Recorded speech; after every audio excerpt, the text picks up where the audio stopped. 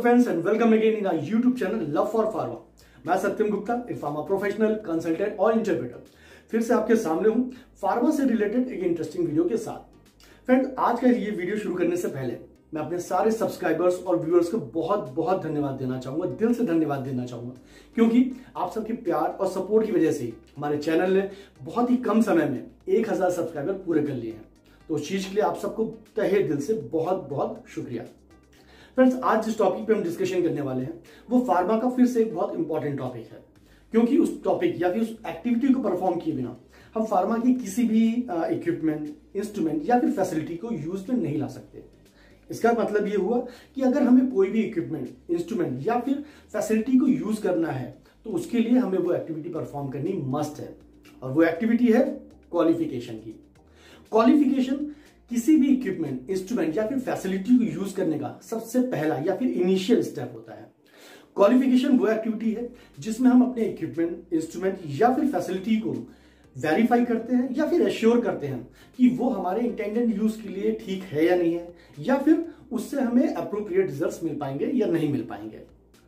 Qualification के कई सारे स्टेप्स होते हैं। जैसे कि U R S D Q FAT SAT I Q O Q and PQ तो अब ये स्टेप्स क्या होते हैं? और इसके अंतर्गत हम ऐसा क्या करते हैं? जिसकी वजह से हमारा इक्विपमेंट या फिर इंस्ट्रूमेंट हमारे फर्दर यूज़ के लिए रेडी हो जाते हैं। इन सबको डिटेल में समझने के लिए हम कुछ स्लाइड्स की हेल्प लेंगे। तो चलिए, चलते हैं उन स्लाइड्स की तरफ़। तो फ्रेंड्स चलिए शुरुआत करते हैं क्वालिफिकेशन की बेसिक डेफिनेशन से। As per PICS identification of equipment attributes related to the performance of a particular function or functions and allocation of certain limits or restrictions to those attributes. Or simply we can say the activity to prove with appropriate documentation that any of the area, system or equipment are properly installed and or work appropriately to lead the expected results. मतलब वो activity जिसमें हम ये assure करते हैं कि कोई instrument equipment facility facility या यूटिलिटी हमारी स्पेसिफिकेशन के हिसाब से ही डिज़ाइन हुआ है इंस्टॉल हुआ है और ऑपरेट करने पर वही आउटपुट दे रहा है जो हमें चाहिए। यानी कि क्वालिफिकेशन में हम किसी भी इंस्ट्रूमेंट इक्विपमेंट फैसिलिटी या यूटिलिटी की डिज़ाइनिंग इंस्टॉलेशन और ऑपरेशनल स्पेसिफिकेशन को वेरीफाई करते हैं। अब इन सभी चीज़ों को वेरीफाई करने के लिए डिफरेंट डिफरेंट डॉक्यूमेंटेशनल स्टेप्स होते हैं, जो हम क्वालिफिकेशन के अंतर्गत परफॉर्म करते हैं। और वो स्टेप्स होते हैं U R S D Q FAT SAT I Q and P Q तो चलिए, शुरुआत करते हैं यू आर एस से, जिसका लिटरल मीनिंग होता है users requirement specification users requirement specification is to provide appropriate design and performance requirements for procurement of equipment system instrument utilities including major add on components और major modification expansion of area to meet in-house requirement as well as compliance with GMP. The requirement for preparation of URL shall be evaluated at initial stage that is during procurement phase. Or simply we can say URS is an authorized document which consists the list of requirements prepared by the user or company for the particular instrument, equipment, component or utility to be purchased. As the name reveals, URS वो document होता है जिसमें हम किसी भी equipment system instrument utility जो कि हम परचेज करने वाले हैं उससे रिलेटेड सारे रिक्वायरमेंट्स या स्पेसिफिकेशन डालते हैं। अब इसे ठीक से समझने के लिए हम एक एग्ज़ाम्पल लेते हैं जो क्वालिफिकेशन के सारे स्टेप्स को समझने में हमें हेल्प करे। वो एग्ज़ाम्पल है आर यानी कि रैपिड मिक्सचर ग्रैनुलेटर जो कि टैबलेट के बल्क मिक्सिंग के काम आता है। अब मान लीजिए कि हमें एक आर प्रिक्योर करनी है तो सबसे पहले हमें ये डिसाइड करना होगा कि हमें हमारी आरएमजी में क्या क्या चीज़ें चाहिए। जैसे कि उसकी कैपेसिटी क्या होनी चाहिए या उसका डायमेंशन क्या होना चाहिए या उसका मेक मॉडल या फिर बाकी चीज़ें। जैसे आ, हमें कुछ ख़रीदना होता है तो हम सबसे पहले डिसाइड कर लेते हैं ना कि हमें उस चीज़ में क्या क्या चीज़ें चाहिए। वैसे ही URS में भी हम ये डिसाइड करते हैं कि हमें क्या क्या चाहिए। नाउ, इस स्लाइड में, फॉर एन एग्ज़ाम्पल यू में क्या क्या कॉम्पोनेंट होते हैं, वो हमने दिखाया है। जैसे कि डिज़ाइन स्पेसिफिकेशन, यानी कि उसका डिज़ाइन कैसा होना चाहिए। एक्यूरेसी, अगर मान लीजिए हम कोई इंस्ट्रूमेंट प्रोक्योर कर रहे हैं तो वो कितना एक्यूरेट रिज़ल्ट हमें देने वाला है। क्लीनिंग रिक्वायरमेंट्स, यानी कि उसकी क्लीनिंग कैसे होगी, उसकी इन्फॉर्मेशन। फंक्शनल रिक्वायरमेंट्स, यानी कि वो किस तरह से काम करेगा या ऑपरेट होगा। उसमें सेफ्टी फीचर्स क्या क्या होंगे? कंट्रोल्स क्या क्या होंगे? पावर कितना कंज्यूम करेगा एंड एक्स्ट्रा एंड एक्स्ट्रा तो इसका मतलब ये हुआ कि हमें जो कुछ भी खरीदना होगा, उसकी क्या क्या स्पेसिफिकेशन होगी, ये हम यूआरएस में कैप्चर करेंगे।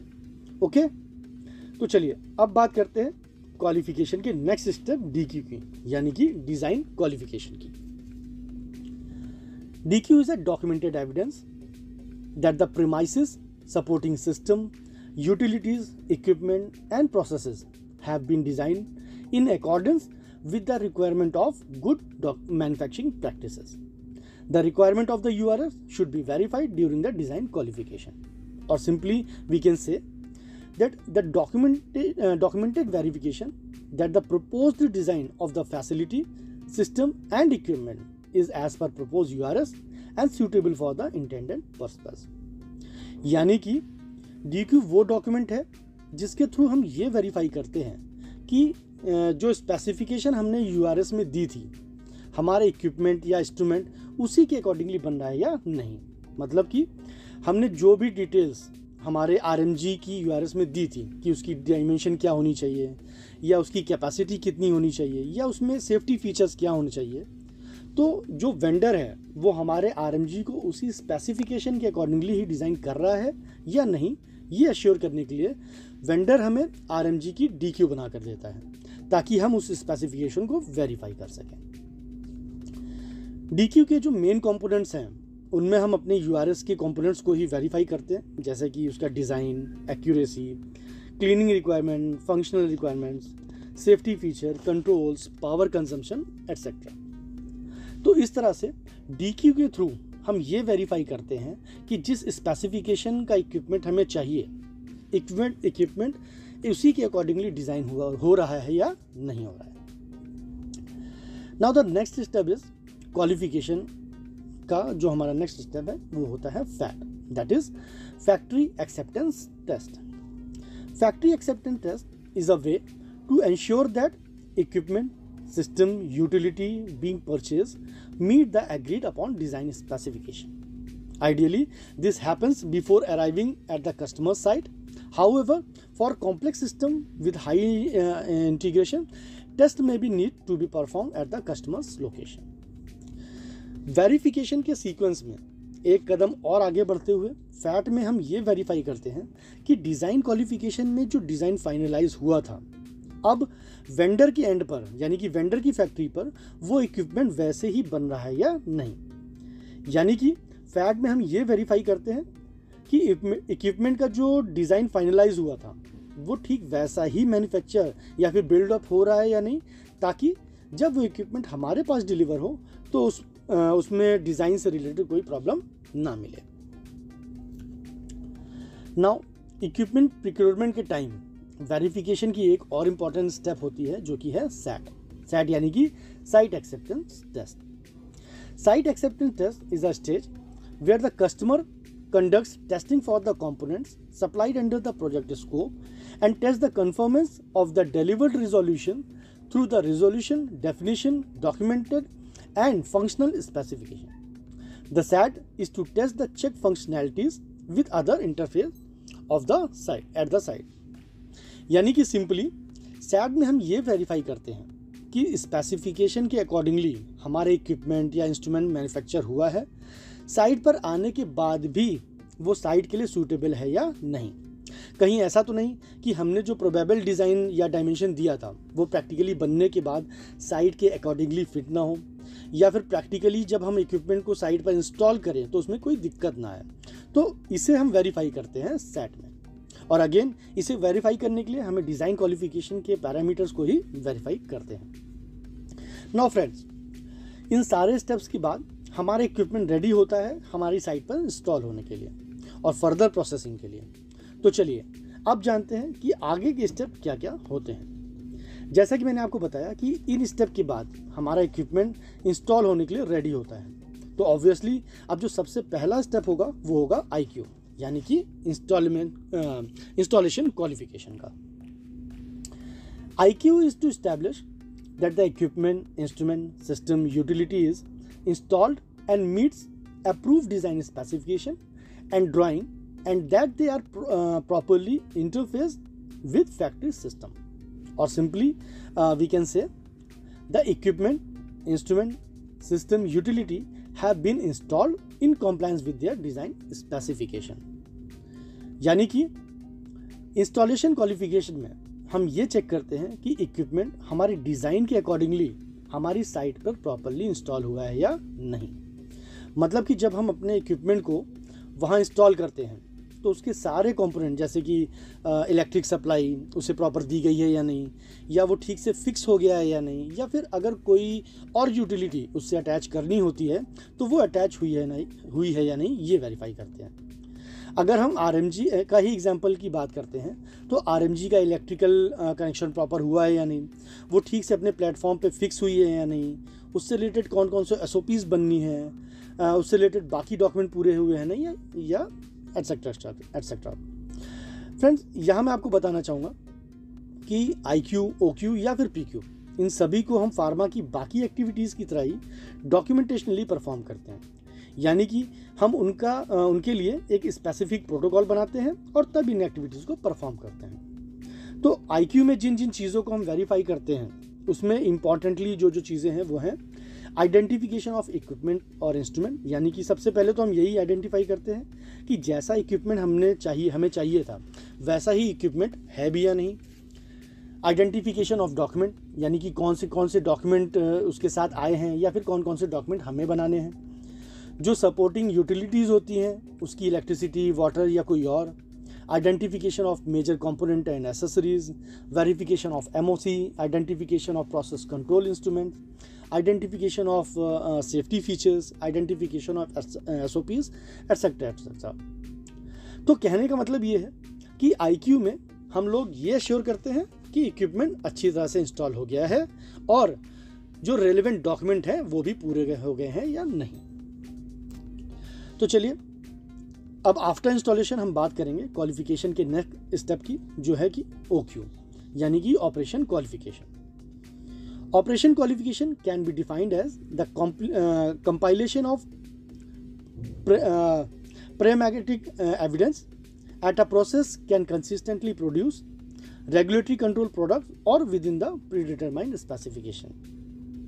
Or again, if uh, I will try to explain it in a simple words, so we can say that the instrument, equipment, component, utilities should operate in accordance with their design specification. तो जैसा कि आप लोगों, आप लोग इसके नाम से ही अंदाज़ा लगा सकते हैं कि जैसे आईक्यू में हम इक्विपमेंट की प्रॉपर इंस्टॉलेशन वेरीफाई करते थे, ठीक उसी तरह से ओक्यू में हम इंस्टॉल्ड इक्विपमेंट के ऑपरेशन को वेरीफाई करते हैं। यानी कि वो इक्विपमेंट इंस्टॉल करने के बाद ठीक से काम कर रहा है या नहीं, या उसके जो कंपोनेंट्स हैं, वो ठीक से काम कर रहे हैं या नहीं। जैसे कि उसके फंक्शनल कीज़ मतलब कि उसके पार्ट्स अगर आरएमजी की ही बात करें तो उसके जो इम्पेलर्स होते हैं चॉपर्स होते हैं, ठीक से काम कर रहे हैं या नहीं, या उसका जो भी अलार्म है, या इंटरलॉक है, वो काम कर रहे हैं नहीं, या फिर और दूसरे ऑपरेटिंग पैरामीटर्स जो भी हैं, वो प्रॉपरली काम कर रहे हैं या नहीं। तो कहने का मतलब ये है कि डिज़ाइन के अकॉर्डेंस अकॉर्डिंगली इक्विपमेंट के जो जो भी पार्ट्स हैं या कंपोनेंट्स हैं, वो प्रॉपरली काम कर रहे हैं या नहीं, ये हम ओक्यू में वेरीफाई करते हैं। तो फ्रेंड्स अभी तक हमने समझा कि कैसे एक इक्विपमेंट को प्रिक्योर किया जाता है, कैसे उसका डिज़ाइन फाइनलाइज किया जाता है इंस्टॉल किया जाता है और उसके ऑपरेशनल्स को वेरीफाई किया जाता है।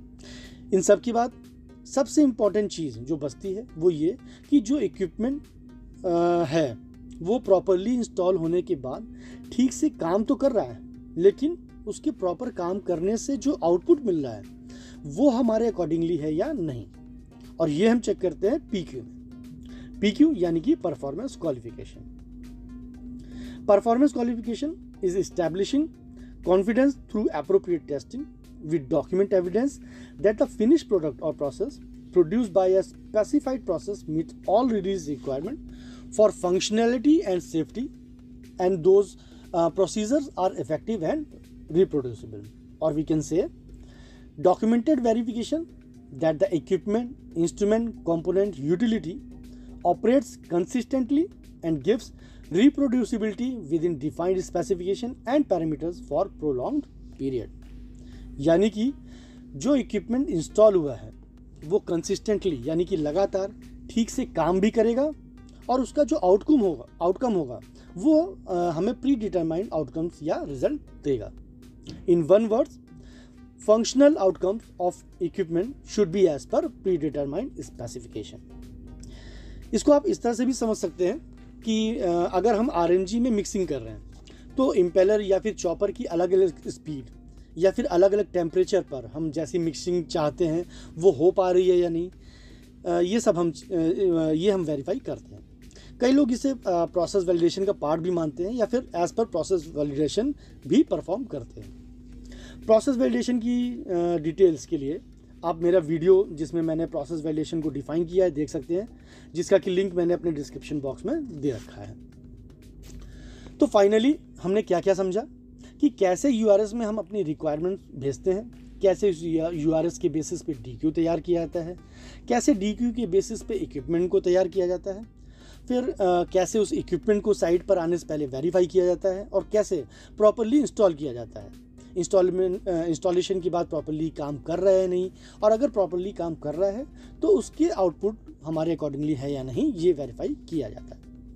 तो ये थी क्वालिफिकेशन की पूरी जर्नी जिसके थ्रू जिसके थ्रू हम अपने सारे इक्विपमेंट इंस्ट्रूमेंट यूटिलिटी या फिर फैसिलिटी को क्वालिफाई करते हैं। एक बार ठीक से क्वालिफाई हो जाने के बाद हम अपने इक्विपमेंट को पीरियोडिकली रिक्वालीफाई भी करते हैं। जैसे तीन साल या पाँच साल, वो डिपेंड करता है फैसिलिटी टू फैसिलिटी या फिर अगर हम अपने इक्विपमेंट में कोई मेजर चेंज करते हैं, जैसे उसका कोई मेजर पार्ट या कंपोनेंट चेंज करते हैं, या उसकी लोकेशन में कोई चेंज करते हैं तो भी हम उसे रिक्वालीफाई करते हैं। तो फ्रेंड्स ये थे क्वालिफिकेशन के बेसिक फंडे या फिर बेसिक कॉन्सेप्ट आई होप कि आपको क्वालिफिकेशन की ये सारी जानकारी समझ में आई होगी कि U R S D Q FAT SAT I Q O Q ये सब क्या होता है और इसमें हम क्या करते हैं और किस तरह से हम अपने इक्विपमेंट या फिर इंस्ट्रूमेंट को फर्दर यूज़ के लिए क्वालिफाई करते हैं। तो फ्रेंड्स आज की वीडियो के लिए बस इतना ही। अगली बार मैं फिर फार्मा के किसी इंपॉर्टेंट टॉपिक के साथ आपके सामने आऊँगा और उसे डिस्कस करूँगा। और अगर आपको मेरा ये वीडियो पसंद आया हो तो प्लीज़ इसे लाइक शेयर और कमेंट ज़रूर कीजिए। और हाँ मेरे चैनल को सब्सक्राइब करना मत भूलिएगा। तो आज के लिए बस इतना ही। तब तक के लिए थैंक यू वेरी मच